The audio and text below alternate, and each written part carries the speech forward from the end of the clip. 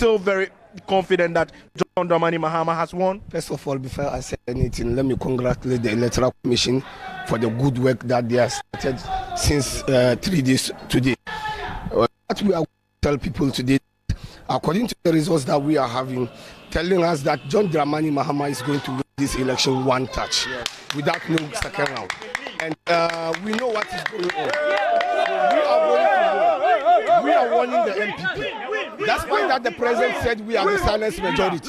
Doesn't mean that they should take opportunity to indicate us. We are going to warn them and the last time. I, I, I wouldn't I wouldn't want us to go go on that level. But for you, your leaders have told you to remain calm and wait patiently for the Electoral Commission to do its job. Yes.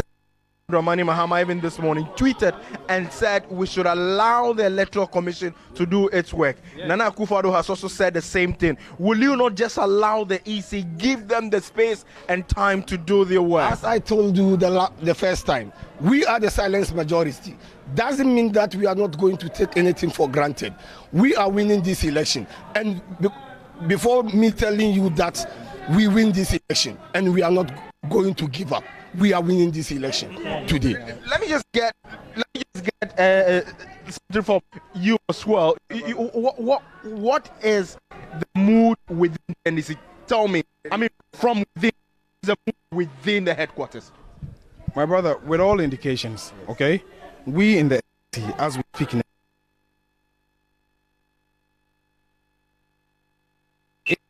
You know, that had won the elections. I don't three NDC as well. NDC was at 40, 40, 44. By morning, now the 48. 49 49. Then NDP goes up, NPP comes out. What figures are they giving out that the general majority? By the Electoral Commission.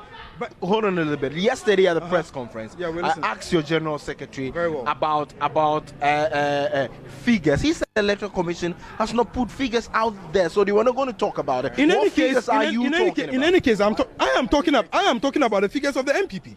The national, the New Patriotic Party says that they have figures available. These are the figures that they have. We've heard, we agree. In any case, as we speak now, why are the figures? Uh, Peter uh, says that it is 170 seats they have uh, what do you call him? Uh, uh, uh Asama Oku comes to say 149. Then later we come and hear 160. We hear 165. Now we're touting 175.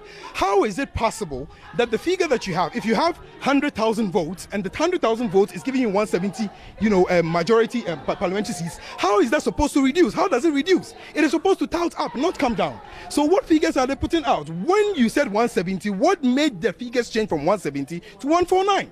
And let's not forget one thing it is not parliamentary seats that win elections.